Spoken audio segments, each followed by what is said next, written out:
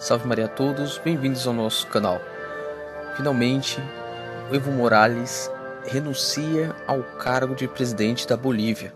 Nossas orações foram atendidas. Evo Morales disse que renunciava pelo bem da Bolívia, pelo diálogo, etc.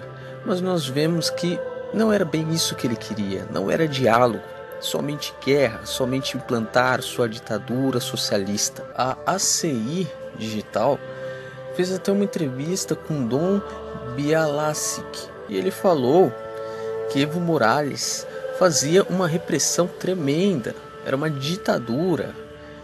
Olha o que ele falou. Escutamos sobre a renúncia do presidente Evo Morales. Nesse momento, todo o povoado, o povoado que ele se situava, se reuniu para comemorar este fato, esse fato, praticamente como uma vitória, porque já estávamos vivendo em uma ditadura e o povo era consciente de que não queria chegar à situação da Venezuela. Também um bispo depois fez uma sugestão que era de formar um tribunal eleitoral o mais rápido possível para vir as novas eleições, para as pessoas poderem escolher seus presidenciáveis.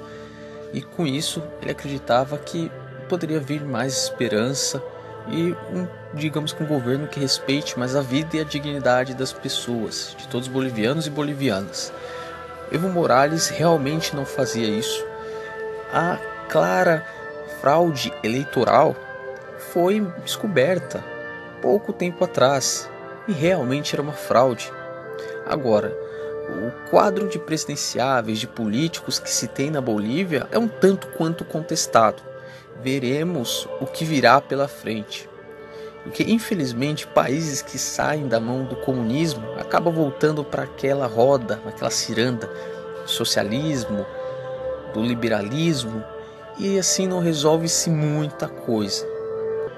Este bispo cuidou muito de muitas pessoas feridas, vítimas de confrontos de uma verdadeira guerra civil que se encontrava a Bolívia. Era tiro, era muito sangue. Muitas igrejas também sofreram, sofreram com isso. Espere que a Bolívia caminhe nos passos de nosso Senhor Jesus Cristo, porque sem seguir Ele, não passará mais de um ano sem a com a paz. Continuará esses conflitos partidários e etc.